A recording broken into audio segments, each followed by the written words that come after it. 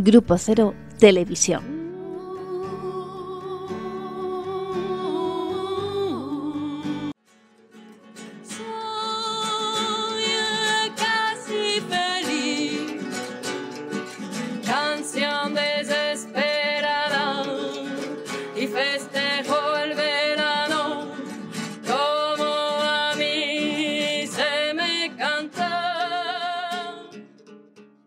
Muy buenas.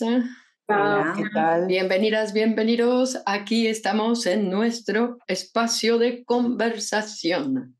qué? Muy bien. Em, ¿Cuándo tenemos que ir a votar? Dentro de En breve. Depende, depende del, nivel de entrenamiento que tengas. Hay quien Ah. vota todos los días. Dicen que es un buen ejercicio. Pero el, el último domingo de mayo hay elecciones generales, no. Hay elecciones locales y autonómicas. Las generales se están preparando. Están más preparándose, adelante. ¿no? Sí, el ahora tenemos- 28. Así ¿No? que sí, Tenemos, tenemos a que ir a votar. Vamos a ir a, votar, vamos a ir a votar nosotras, ¿no? A votar, sí. El otro día aunque no sabemos dónde, aunque no sabemos dónde, pero sabemos que tenemos que votar en contra. Mira, aquí lo, aquí lo pone. Sí, muy bien, pero no te he indicado dónde tenías que votar. Sí, Colegio Portugal. Ah, Que tome un vuelo y me tengo que ir a Lisboa o Porto, algo así. A ver dónde Pasa el fin de semana.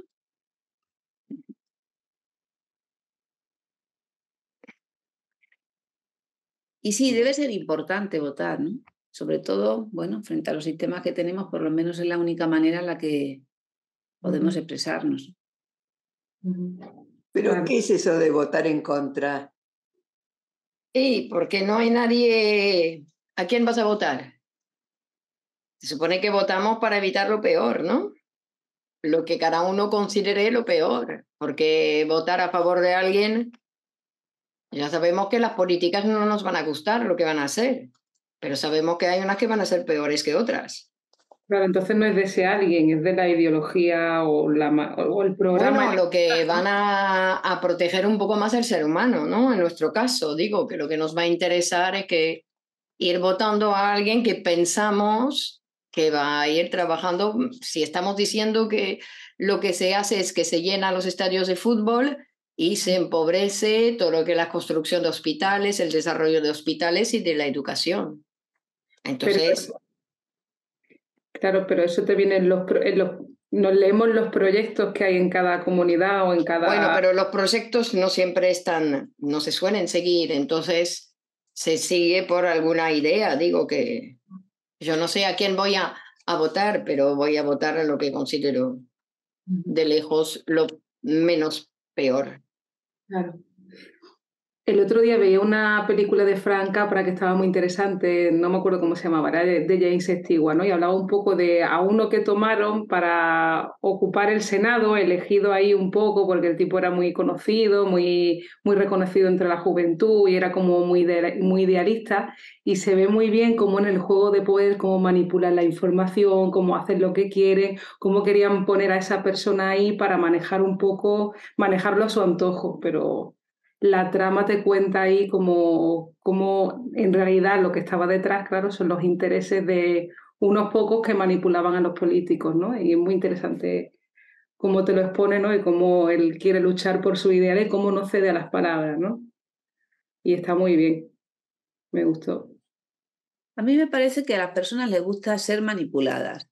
Si tomamos el término manipulación y lo relacionamos con mano, con toqueteo, con, con al fin y al cabo la vuelta a un primer vínculo en el cual éramos manipulados o toqueteados por mamá. Entonces esa eh, forma de moldearnos para nosotros era muy confortable y nos eximía de cualquier tipo de, de decisión o de movimiento que siempre nos aleja del confort. Entonces, tal vez la sociedad en general no quiere salir de ese infantilismo en el que está, ¿no? donde está Bueno, manipulado. y pero- mira, mira, Elena, lo que nos preparan. a He recibido una información ¿no? que habla de los proyectos de la OMS para la educación sexual en los colegios. Entonces, dicen, hay una guía técnica internacional sobre la educación sexual que fue publicado por las Naciones Unidas, que dice que lo que interesa es que eh, dar a los niños ¿no? Los, las herramientas para poder desarrollar relaciones sexuales y ayudar a los niños a tener relaciones con sus eh, partener sexuales. Y entonces dicen que los niños de 0 a 4 años deben aprender lo que es la masturbación e interesarse por su propio cuerpo y el de los demás. Los niños de 4 a 6 años deben aprender la masturbación, si todavía no la han aprendido, y ser alentados a expresar sus necesidades y sus deseos sexuales. Los niños de 6 a 9 años deben aprender lo que son las relaciones sexuales, la pornografía online, el amor secreto y la autoestimulación. Los niños de 9 a 12 años deben tener su primera experiencia sexual y aprender a utilizar la pornografía online. Además, la OMS recomienda a las escuelas a sostener, digamos, eh, a los jóvenes, a los niños jóvenes, tener relaciones homosexuales con sus amigos. ¿Esto qué es? por favor, de verdad. Amén. A que sí, yo he ido a llamar al Papa Francisco a que, que nos auxilie, ¿no? Pero qué es bueno, como si están este, pasando por alto toda la sexualidad infantil que hemos recorrido a través de los años, ¿no? Sí, que parece que ellos van a ser los que van a enseñar a los niños, como si los niños no supiesen. Bueno, pero están criando idiotas, ¿no? Porque es como considerar que los niños no tienen inquietudes, no tienen alma, no tienen deseos sexuales, que no nacen por compulsión genital, es considerarlos como tarados, ¿viste? Como robots. Entonces eso lo aplicas a un robot y va, pero a un ser humano, ¿viste? Si la investigación sexual de los niños es lo primero que acontece, hay que mm. saber leerla, pero no imponerla. Claro, están haciendo que los adultos o los padres sean perversores infantiles, ¿no? Participen ¿no? de eso. No, y además me parece como una fórmula farmacéutica esa manera de considerar la sexualidad. No es una fórmula farmacéutica de los cuatro a los seis. Van a vender con mini consoladores. Seis a los ocho, cuatro cucharadas de jarabe. ¿Qué es eso? Es una deshumanización. No tener en cuenta esa humanidad que nacemos, ¿no? Que nadie nos tiene que enseñar cómo hacer el amor, y esto te quieren enseñar a cómo hacer el amor. ¿Cómo mm. es eso? Nadie te enseñó. Hay, una, hay un espíritu de cada uno, hay una sexualidad, hay una energía sexual en juego desde que nacemos. Nadie te enseña nada. Después si ves a uno que está medio desviado, le das un cachetazo o algo parecido, ¿no? Pero y lo mandas de nuevo a la senda, pero no, me parece que todo eso. Bueno, no sé. También he estado leyendo libros de, libros de gente que vivió este, en el Oriente Medio, ¿no? Y la prostitución infantil está en juego. Claro, porque ahí el artículo... Hay de niños. el artículo dice eso, que lo que quieren fomentar es la pedofilia. Claro, que los niños van a estar preparados, digamos, para ser abusados, para que los utilicen. Claro, es que cuando el padre tiene que decir que no, ahí es como no, encima me incluyo y, animo ahí a que pase lo que sea. Y además lo están difundiendo en las redes, hablan del incesto, de la práctica del incesto, ah. de todos ahí. De, nos quieren asfixiar. No nos quieren dar la libertad de pensamiento que tenemos desde que nacemos. ¿Cómo nos van a imponer? Hay que esperar el desarrollo de cada uno, no imponer normas farmacéuticas. Mm. para el desarrollo. Hay que esperar el desarrollo de cada uno. Todo ser humano tiene un alma, tiene una sexualidad desde que nace. Deja que se desarrolle. Eh, todavía tienes que ser testigo de eso. Deja que se desarrolle. Y si hay un desvío, bueno, ahí intervenís, pero si no, déjalo en libertad. Pero estos, son, estos son, son, delitos de lesa humanidad porque atentan contra todos los derechos fundamentales del individuo. Quizás un derecho fundamental es el derecho a, a, existir con independencia, a decidir, a construir tu propio pensamiento y a que no te digan eh, lo que tienes que hacer, ¿no? A elegir tu modalidad. robots. El pensamiento, ¿cómo se llama el pensamiento este que quieren imponer? de la máquina, el pensamiento. La inteligencia artificial. ¿Eh? La inteligencia artificial.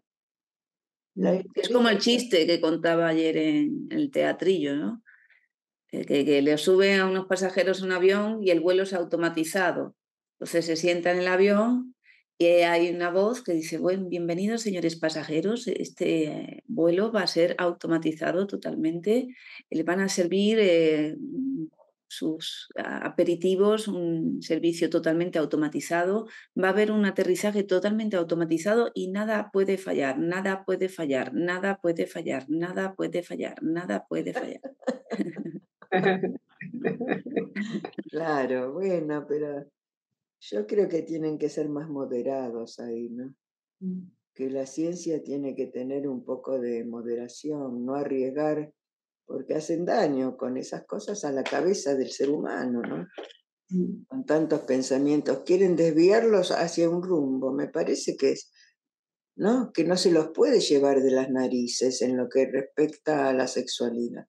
Aparte quieren eso, quieren robots. Que la OMS no representa el desarrollo científico, en tanto estamos diciendo que la, una de las disciplinas que estudia el desarrollo sexual, psicosexual del individuo, que es el psicoanálisis, dice algo totalmente diferente a eso que, plantean esas organizaciones. Entonces parecen más bien organizaciones destinadas a una ideologización o a un, un uso de una tendencia determinada que somete a los individuos, porque hemos visto que las medidas que, toman no son medidas eh, para la salud o para el bienestar. ¿no?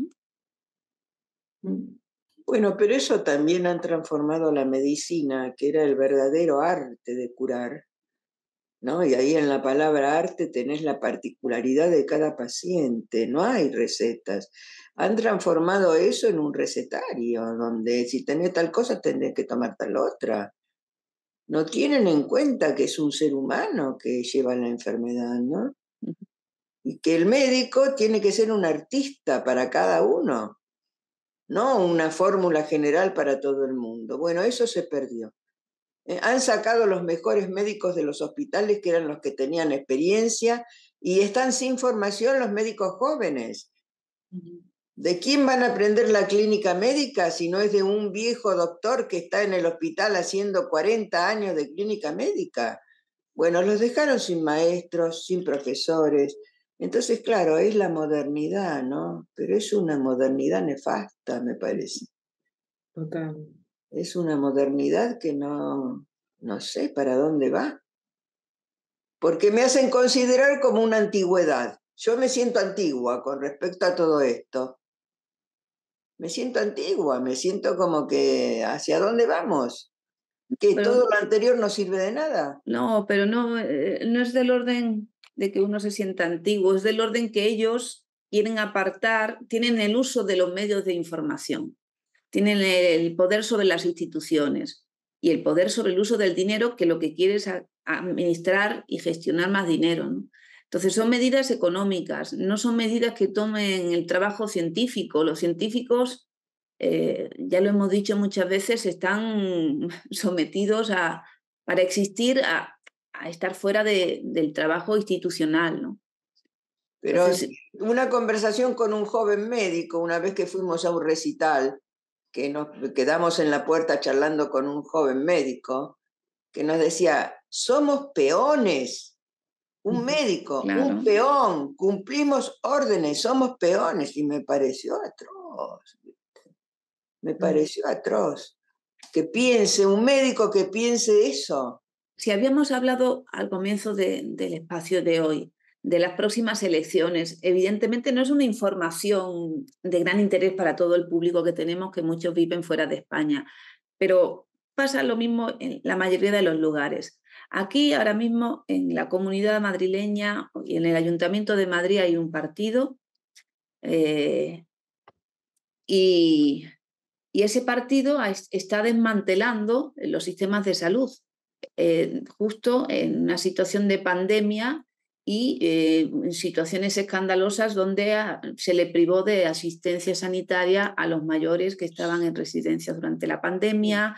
Hay huelga de médicos porque hay una situación, bueno, lamentable puesta al servicio de la privatización de la sanidad. Eso pasa aquí, pasa en muchos lugares. Pero ese mismo partido es el que tiene más presupuesto para las próximas elecciones. Es decir, está utilizando dinero institucional y todos eh, los contactos empresariales que, tiene y es el que más eh, presupuesto tiene para las elecciones y por tanto es muy probable que gane las elecciones. ¿Para la campaña? Claro que roba del Estado para pagar su campaña. La noticia, la noticia que yo tengo es que está utilizando un, gran porcentaje de la inversión de, la comunidad. Claro, para, para Telemadrid, por ejemplo, que es una televisión que tendría que estar al servicio de los ciudadanos madrileños, pero está al servicio, bueno, ya sabemos, de los partidos políticos. Entonces, todo el tiempo están financiando para que salgan noticias eh, favorecedoras de su, ¿no? de su publicidad, porque no es de su trabajo, en, en, diversos eh, medios de comunicación. Entonces, bueno, tienen más visibilidad. Todo lo que dicen no está en relación con el programa o con las realizaciones que han llevado a cabo, es decir, que son mentiras, pero como viven impunemente de las mentiras, pues bueno, Digamos que no es que en, Argentina es el modo de vida actual. en Argentina el 70 por, 72% de la población eh, nacional rechaza la gestión del gobierno y la derecha lidera la intención de voto. Y no solamente eso, sino que es el candidato ultraliberal con la mejor imagen, ¿no? positiva, la mejor imagen en la prensa. Claro. Que digo que no es solamente aquí en España, sino que hay un, un movimiento global sobre eso, ¿no? Sí. En Chile también ha ganado la ultraderecha, ¿no? No sé. No sé. Sí. Pero bueno, son los giros de la vida, ya caerán, ¿no? Bueno, por otro lado, tenemos que decir también, para pensar que no todo es negro, que se está creando el BRICS, que el BRICS, que es una asociación entre Brasil, Rusia, la India, Sudáfrica y China. Y entre los primeros, ¿no? Y después se ha asociado un montón de, entre los cuales Argentina, Turquía, se han asociado un montón de, porque es una asociación que se hizo antes de 2008, antes de la crisis, y con la crisis, pues eh, China se ha adelantado a esos otros países en el crecimiento de una manera brutal, entonces no tenía China interés en seguir asociada a esos países, porque ya estaba muy delante. Pero ahora que hay ese problema ahí del embargo de Estados Unidos y de Europa frente a, a Rusia, pues ya se ha remodelado, digamos, los acuerdos y hay como dos bandos, los de los bandos del de, imperio americano, de la caída del imperio americano, que vamos a caer, a ver cómo caemos, y los otros que se están asociando, ¿no? que están pensando en crear una nueva moneda o, o regir los, el, comercio con una nueva moneda. Y entonces eh, digo que no todo es el imperio americano.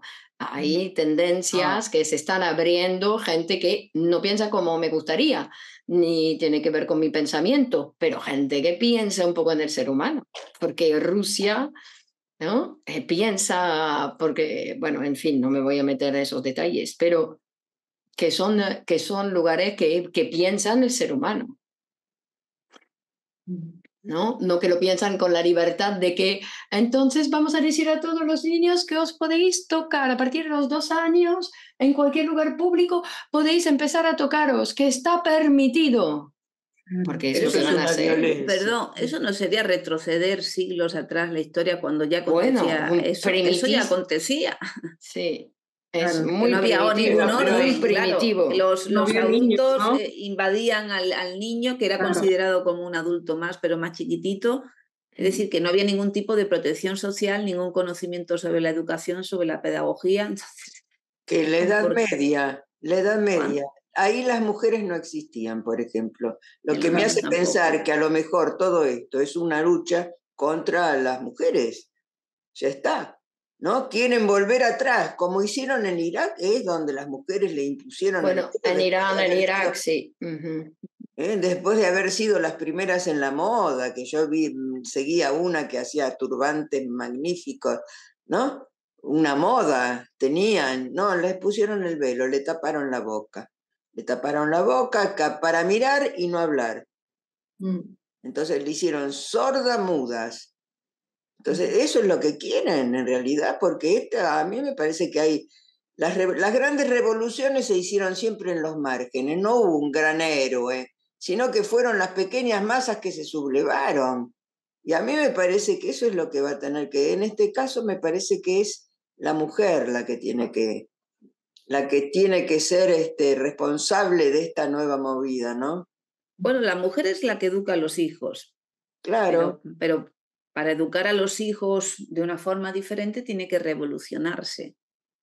Y en general la mujer como madre no se revoluciona, sino que trabaja para esa ideología que la somete también como un objeto sexual. Bueno, pero se acepta que está partida en dos, que es madre y es mujer. Claro, tiene la cosa se que, arreglaría, ¿no? y tiene que encadenarse al trabajo. Tiene que encadenarse al trabajo porque si económicamente depende de otro, es una esclava. ¿Cómo te vas a rebelar contra el que te alimenta? Contra el que paga el techo de tu casa. No se puede uno rebelar, no puede tener una voz, el otro va a mandar. Entonces hay que trabajar, Bueno, son, señoras. son acuerdos matrimoniales esos, ¿no? También.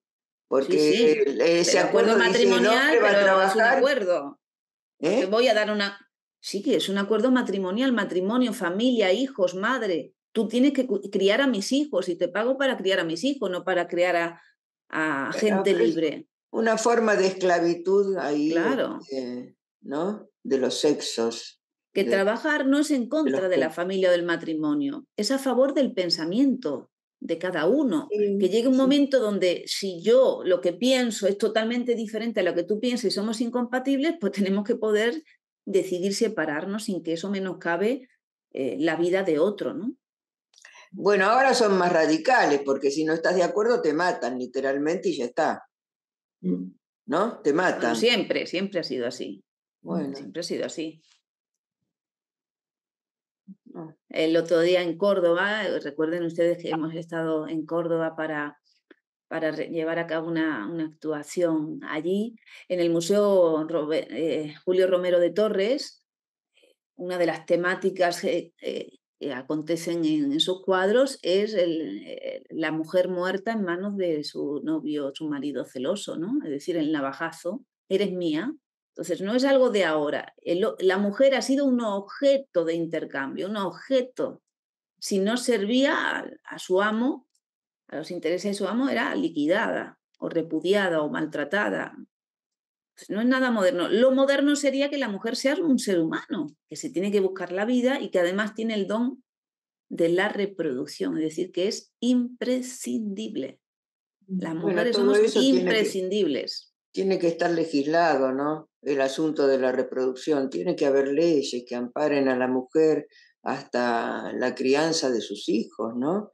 Tiene que estar, tiene que ser aceptado, que no puede caer solo en manos de una mujer. El Estado, el Estado tiene que promover políticas donde se, se tenga en cuenta que además de la reproducción está la crianza de los hijos, ¿no? Bueno, hubo experiencias también. Hubo experiencia en Israel, me parece que fue, donde estaban la experiencia de los kibbutz, donde los niños tenían la casa de los niños. Bueno, en Israel es por- obligatorio que hombres y mujeres hagan el servicio militar, es decir, que los ciudadanos de Israel son súbditos de Israel, tienen fuertes obligaciones para con su Estado. Es decir, no sé si yo quiero un Estado así, No, pero, pero, pero, si se pagan sueldos justos, si una persona va a trabajar, vende su tiempo por dinero y obtiene un salario justo o los impuestos son justamente redistribuidos, el trabajo me sostiene la posibilidad de criar a mis hijos. Pero ahora mismo no existen sueldos justos, ni existen sistemas de, de, guardería, son carísimas, hay pocas plazas, eh, no hay protección para... Las personas dicen, si tengo hijos, me sale más rentable quedarme yo en casa a cuidar a mis hijos que pagar a una persona que los cuide. Claro, no, puede ser eso, eso no puede ser. Bueno, mira cuántas cosas hay para hacer, ¿no? Mm, total. Para legislar. Y, hay personas que están capacitadas y desean llevarlo a cabo. Lo lamentable que no son personas que están bajo esos poderes económicos, sino que son personas que son pues, estudiosos, eh, gente del, que ha crecido en el mundo de la política también, con esa construcción de pensamiento y que tiene los, los instrumentos, que tiene el, pensamiento, los proyectos. Pero, bueno, eso es Ministerio de Educación y Justicia. Ministerio de Educación tiene que formar gente para eso, tiene que pagar gente para que se ocupe de esto, es una, una legislación la que hay que poner en juego. ¿No? Porque es educación, educación de los niños, educación de los infantes, educación, es educación. Tiene que haber un presupuesto. Es muy difícil, es una revolución muy grande que tiene que llegar, porque la, eh, eh, estructura administrativa está hecha para que haya mm, división, es decir, el Estado gestiona unas cosas o unos fondos, luego están las, comunidades, luego están las provincias, luego los ayuntamientos, está todo muy institucionalizado, se supone, para una mayor cercanía al ciudadano, a la necesidad del ciudadano, pero lo que pasa es que hay muchísimas estructuras eh, de cargos políticos, de, de, de, funcionariado, que no trabaja bien, que no gestiona bien esos fondos, que luego no se llevan a cabo los proyectos que realmente se tienen que llevar a cabo y que tienen que ser defender todo eso. Entonces hay como un, despilfarro económico en, en cosas para, para, digamos, mm, retroalimentar esas políticas. El otro día había aquí en la plaza unas banderitas, Días de Europa. ¿Cuánto costaría eso para cinco minutos y una foto? Con la de cosas necesarias que hay, pero en la política es necesario ese gasto, ese gasto de publicidad eso genera más votos que construir un centro de salud.